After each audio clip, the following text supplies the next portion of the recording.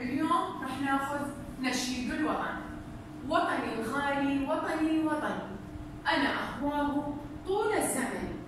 وطني الغالي فيه أزرع. وطني الغالي فيه أصنع.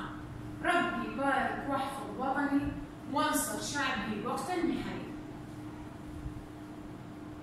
طلابي بعد ما قرينا الدرس وتعرفنا على كلمات النشيد الورقة نشيد الوطن مثل ما علمتكم بالمحفوظات السابقة أنه نكتب على سطر ونترك سطر بالترتيب.